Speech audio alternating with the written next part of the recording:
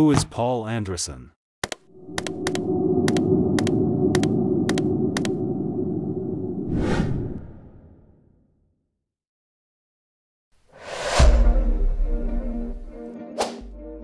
Paul Anderson is an English actor born on February 12, 1978, in London, England.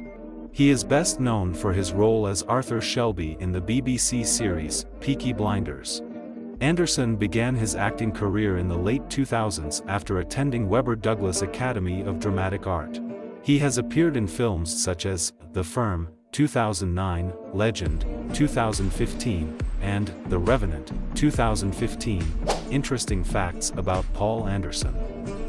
Anderson's break came when, in 2013, he was cast as a main character in the BBC Two show Peaky Blinders as Arthur Shelby, a gangster in post-First World War Birmingham.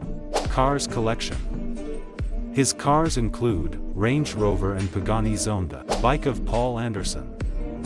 Paul Anderson owns a bike named Triumph.